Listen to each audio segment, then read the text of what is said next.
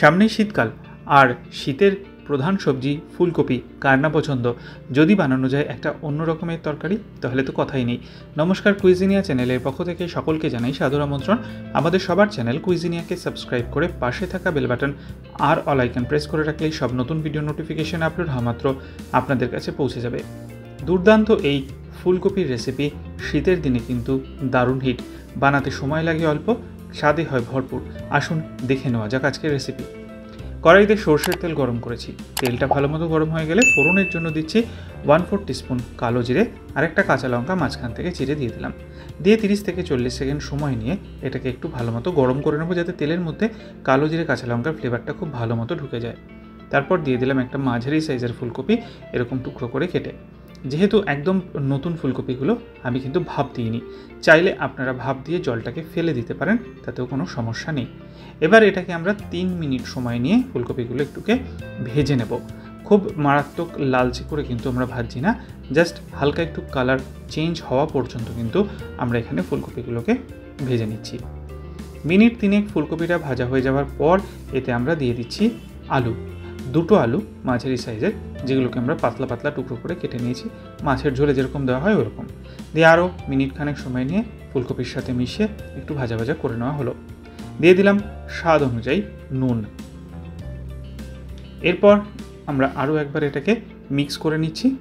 রান্নাটাকে নিয়ে এগিয়ে যাব। তার আগে মনে করিয়ে দিই আমার নতুন চ্যানেল লাইফ ইজ প্রেশাস যেখানে জীবনের নানা দিক নিয়ে আমি আপনাদের সাথে আলোচনা করি। চ্যানেলটাকে সাবস্ক্রাইব করতে আজকে ভিডিও ডিসক্রিপশন বক্সের লিঙ্কগুলো প্লিজ চেক করে নেবেন। আর যদি ভিডিওগুলো দেখে ভালো লাগে লাইক শেয়ার হ্যাঁ অতি অবশ্যই কমেন্ট করতে ভুলবেন না যেন। ফিরে আসা যাক রান্নাতে। ওয়ান ফোর টিস্পুন দিয়ে দিচ্ছি হলুদ গুঁড়ো। তার সাথে দেওয়া হচ্ছে হাফ টিস্পুন লাল লঙ্কার গুঁড়ো। দিচ্ছি হাফ টিস্পুন কাশ্মীরি লাল লঙ্কার গুঁড়ো।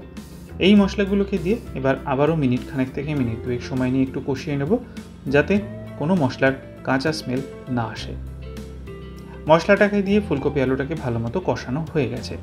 এবার আমরা একটা পেস্ট বানাবো।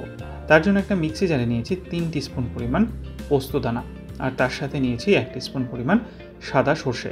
প্রথমে এই দুটো জিনিসকে আমি শুকনো অবস্থায় গুঁড়ো করে নিচ্ছি। শুকনো অবস্থায় গুঁড়ো করে নিলে পেস্টটা করতে করতে খুব সুবিধা হয়।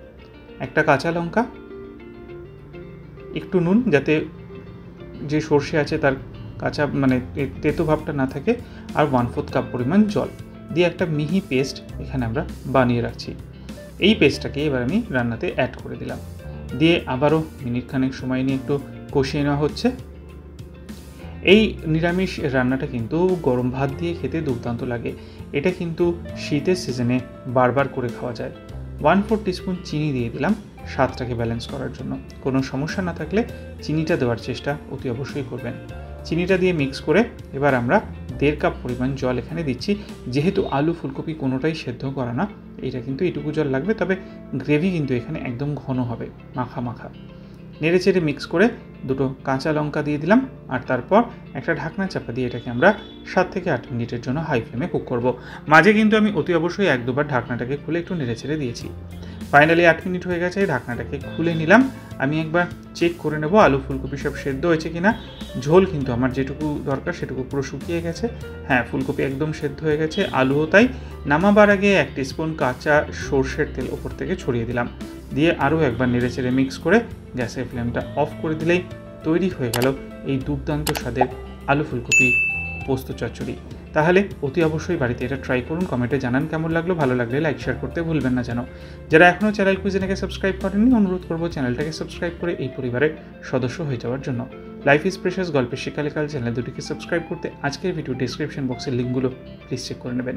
সবাই ভালো থাকবেন, সুস্থ থাকবেন। দেখা হবে পরের রেসিপি নিয়ে। তাহলে পর্যন্তই, নমস্কার।